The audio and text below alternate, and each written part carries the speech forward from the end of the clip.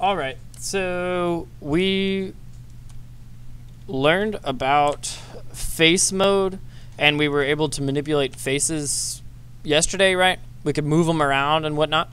Um, but um, that only allows us a certain amount of um, editing capability, right?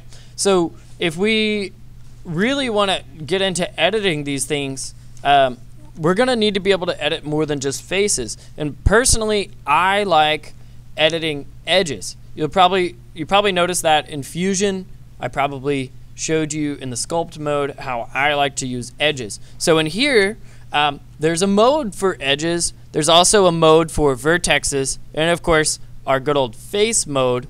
Okay, so let's try um, right-clicking, holding down, and, and going up to edge mode here, and you'll be able to select on individual edges.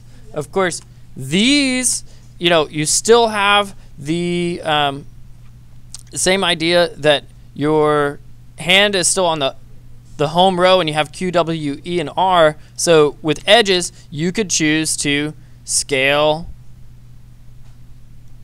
move, and whatnot, right? Uh, as well as, as rotate. So sometimes it's kind of annoying to have to edit edges one by one.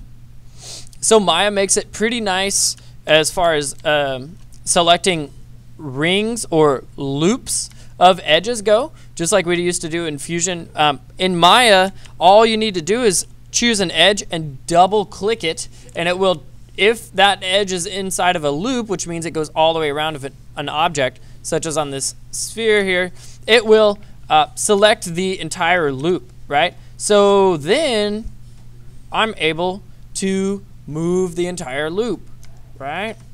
All at once. So I can start um, editing a lot quicker using this. So it's it's a lot slower if you tried to hold shift, which lets you select multiple things. and went well shift, shift, um, shift, you know, whatever.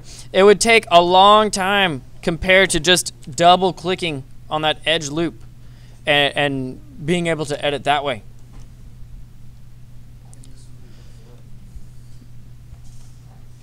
Uh, fridge, I'm doing a recording. Um, so the other um, really powerful mode that we're going to learn, if you right click, um, you'll see vertex. Now, we had trouble when we modeled our pear in uh, Fusion, the pear shape, because we couldn't move the actual top of the pear, right, where the stem came out. Um, if you click on the uh, vertex mode, you'll notice you're able to select points on the object.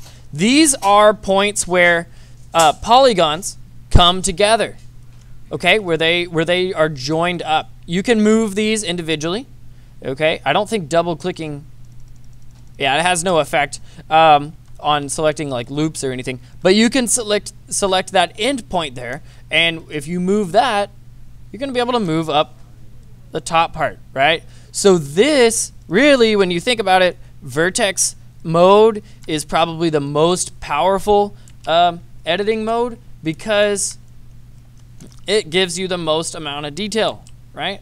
You could you can adjust all the edges and all the surfaces with vertex mode. It's the most fine-grained control. Also, for me, um, not so fun to use to edit, right? Takes a long time to edit with vertexes. So personally, guys, you'll see me do this a lot. I use edge mode because it's my fave. And um, face mode probably second to that. Vertex mode when you really have to do some nitty gritty stuff.